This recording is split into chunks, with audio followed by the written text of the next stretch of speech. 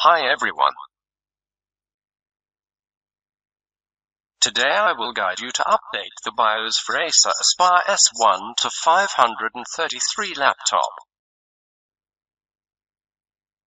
I'll update in the Windows environment. The machine configuration I will update is Windows 10 64-bit.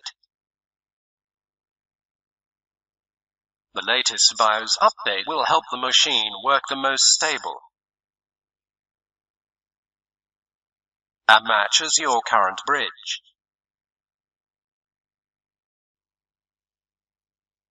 To check your current version of BIOS, from the search bar type msconfig and press enter. You can check this way with all other operating systems. On the current screen, the device is using v1.11 version updated on July 14, 2017. As far as I know, this is not the latest updated version, so I will update my laptop. I have already downloaded the latest BIOS file from the Acer homepage. I will leave the download link below for you. The first step is to extract the file. After extracting, you must use the highest admin volume to run the installation file. You should carefully read the installation guide file below before installing offline. You pay attention to plug the laptop's battery into the laptop and turn on the power. Sudden power outages will result in the laptop not starting. OK, click the install file to start updating the BIOS. Always choose admin rights when installing capture software. Click Yes. In this table it will display all information about the version of BIOS in use. You need to check that the BIOS version you have downloaded is correct for a newer version. Upgrading the BIOS for your computer can help your system boot faster, fix some compatibility issues, and improve performance. The BIOS stands for Basic Input and Output System and the BIOS is the first software that the computer will load on startup. Click Yes to continue. Click OK to start the update process. After clicking OK, laptop will restart the computer.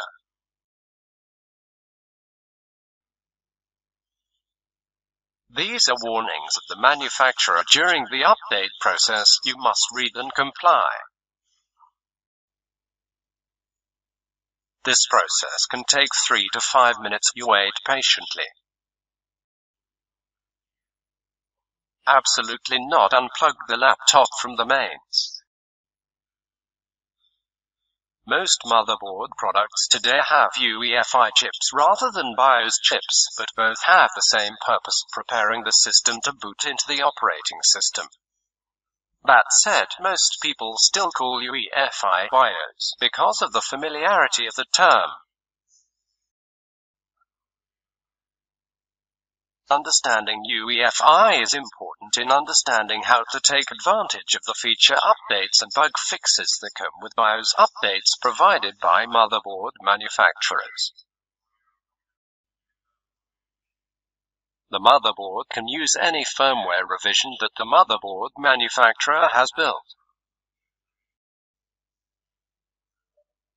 For many years, the only real reason for updating to a new firmware version was to resolve some bugs in UEFI or exchange a newer CPU for the motherboard. Most computer manufacturers make BIOS upgrades based on a certain model or line. So visit your BIOS manufacturer's support page and check its listing.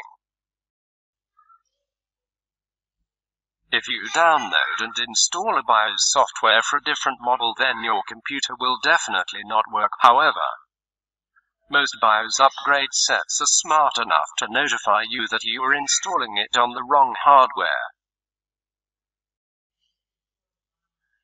If there is an upgrade file for your BIOS in the list, download the upgrade file to your computer, along with any accompanying documents, as specific warnings and instructions will be placed inside. README documents. In the process of searching for BIOS updates from the motherboard manufacturer's website, if you can't remember the manufacturer's model number, then you can look it up without opening the case by downloading and running CPU-Z, then clicking on the main board tab. Different motherboards use different utilities and procedures, so there is no suitable guide for all motherboards. However, the basic procedure is the same on all motherboards. If you purchased a built-in computer, visit the computer manufacturer's website, search for the computer model, and view the manufacturer's download page. You will find any BIOS updates available there. BIOS updates are usually downloaded as zip files. Please extract the content of that file. Inside the extracted folder, you will find several types of BIOS files. OK, the update is complete and the system is restarting. The Acer Aspire ES1 to 533 line after the update is complete the system will boot very long with a black screen. So please wait until the computer boots into Windows. You must wait patiently. Do not press the Start button or click or enter any key on the keyboard.